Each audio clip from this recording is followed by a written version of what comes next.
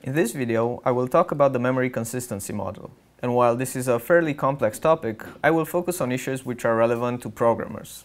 In particular, I will focus on issues which are relevant when programming concurrent applications. So why is the memory consistency model of a processor important for software developers? Let's look at a very simple example. Assume we have two memory addresses, A and B, initially both 0. And say we have two threads, T1 and T2, concurrently operating on these memory addresses. T1 first stores the value 1 at address A and then loads uh, address B in a, in a local register, while thread T2 first stores 1 at address B and then loads address A again in a local register. Now we ask the question, what is the content of the local registers R1 and R2 after the execution of these instructions? Well, if thread 1 executes its instructions before thread 2 can execute its instructions, um, the contents should be 0 in R1 and 1 in R2. Similarly, if thread 2 executes its instructions before thread 1 executes its instructions, the content should be 1 in R1 and 0 in R2. If thread 1 executes its store, then thread 2 executes its store, and then the two loads are executed in whichever order, the contents should be R1 equals 1 and R2 equals 1 as well. We notice that if the instructions of each thread are executed in this order specified in the program, there is no way in which uh, both R1 and R2 can have the value 0 at the end of the execution. Still, in practice, it is possible that this might happen. We might have an execution which results in both R1 and R2 containing 0. This is a result of what we call the memory consistency model of a processor, and this can render an algorithm, a concurrent algorithm that is theoretically correct, incorrect in practice. To better understand why these reorderings are possible, we need to look at the memory consistency model. The memory consistency model basically describes the instruction ordering across addresses that the processor may do. It is important to note that the memory consistency model uh, concerns instructions dealing with different addresses. Instructions dealing with the same address, the behavior of the memory system in that case, is covered by the cache coherence protocol. The memory consistency model deals with accesses to different addresses. An important point to be made here is the fact that whatever optimizations the processor will do, it will do with disregard to concurrency. The processor is not aware if your application is single-threaded or, or multi-threaded. The processor will try to optimize your program while only trying to ensure single-threaded correctness. So let's first look at an ideal memory consistency model from the point of view of a programmer. And when I say ideal from the point of view of a programmer, it means the most convenient, the easiest one to use. That memory consistency model is called sequential consistency. In essence, what that means is that all instructions are executed atomically and there are no reorderings between uh, memory instructions.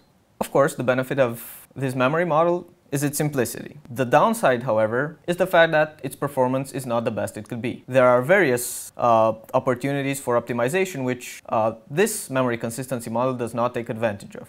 Let's look at a simple example. Say we have a program consisting of four instructions a store to an address A, followed by three loads of addresses B, C, and D.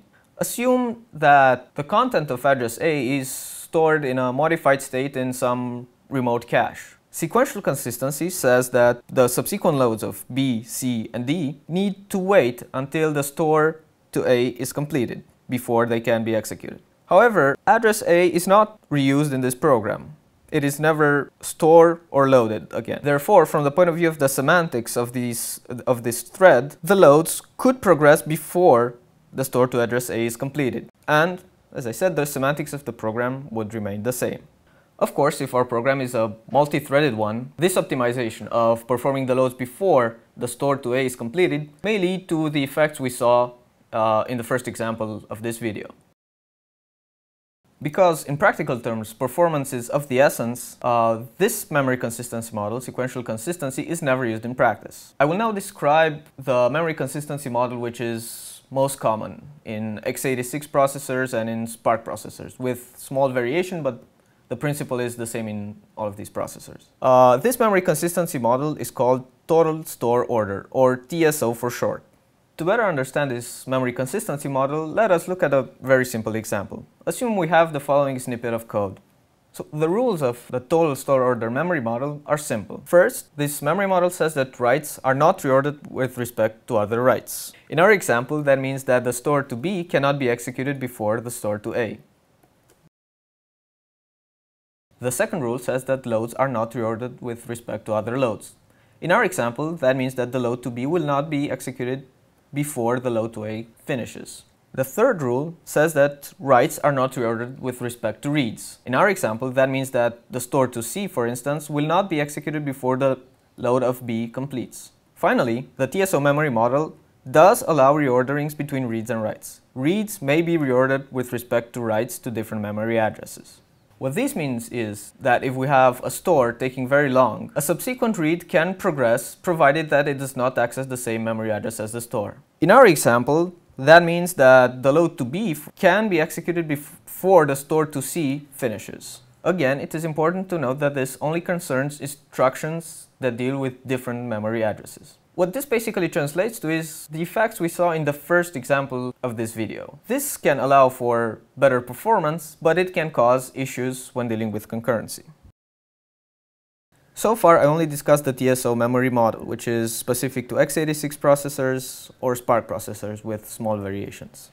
However, other processors have different memory consistency models. In particular, many commonly used processors have relaxed memory consistency models. Examples of processors having more relaxed memory consistency models include, ARM or Tilera processors.